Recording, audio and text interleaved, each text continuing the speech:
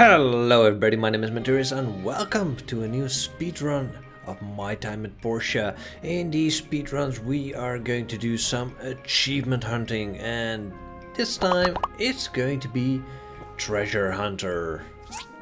If you're new to the channel and have not yet subscribed, push the subscribe button and push a like button. And if you got anything to tell me, leave it in the comment down below, because I love hearing from your comments.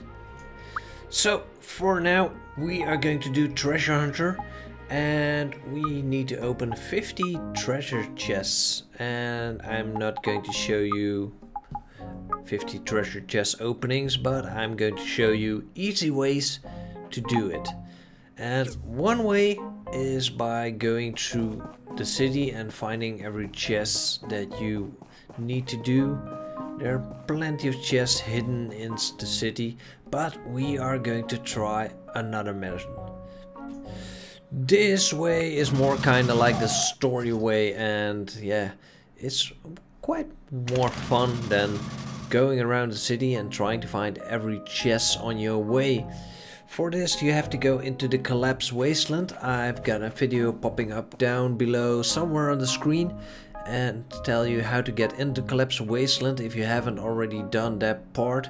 But this is where we are going to do and get our achievements. Pick the easiest uh, level and then let's get started. Within this area you do have some enemies so you need to fight them and defeat them and most time in the first uh, area you won't find any treasure chests. So let's get down to the second area. And I've done this already many times, but as you can see there's already a chest up there and you can collect a lot of chests in this area alone.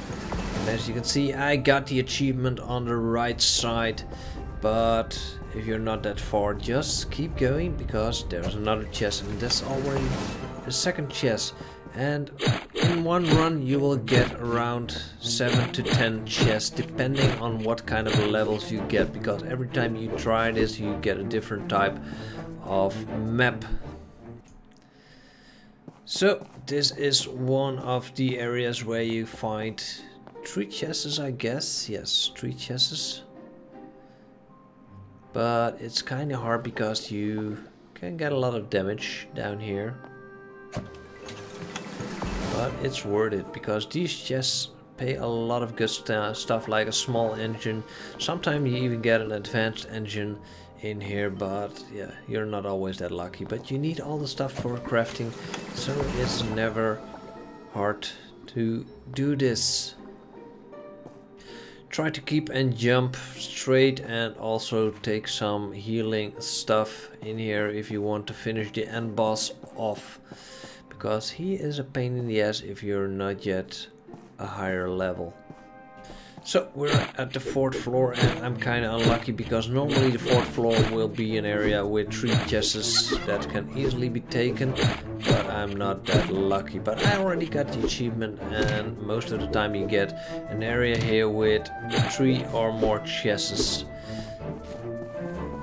So for the last area you can skip it and re-roll the area or you can try and beat this guy. And you get a lot of nice goodies for it so let's uh, take a look at how to defeat him. I'm taking a little bit of healing. You need to roll at moments he's going to hit and this wasn't a good example of me doing that that was and then he missed but the second one I did roll didn't roll at all. The best way to defeat this guy is with a lot of medics and the right tools to, to defend yourself. So upgrade your clothing, upgrade your weapons and you will defeat him. But I will use a lot of healing methods. I'm not good at beating this guy at the moment. I'm eating, eating all my meat that I got to stay alive.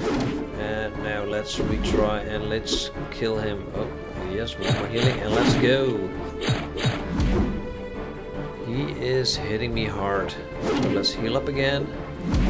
And then I'm picking the wrong item. Yes, this is a great example, Menturius, of you beating a guy I Hope you're not going to die because that would be shameful on camera. Well, Mastella did die a lot recording this video, so if you got any tips tricks from me, then uh, leave them in the comment down below. Also, if you'd like to get this game, use the link down below and you can get it for a good price at G2A. So, now this is the way to kill him. Yeah, I was talking through it all the way. But then you can destroy the boxes and then we are going for the second way to get those chests that we want for the achievement. So let's move on to the second way to get these achievements. Outside your house is the first chest and this is kind of the chest you need to look. They're hidden all over town. There are two on top of the gate, but there are many hidden and that's also the easiest way to get these chests. So I hope this was helpful. If you got any questions for me, uh, put them in the description down below. And if you're new and haven't subscribed yet, push the subscribe button. I really appreciate this. And uh, tell me what type of achievement you would like to see in the next episode of My Time at Portia Speedrun. And I hope to see you at the next video.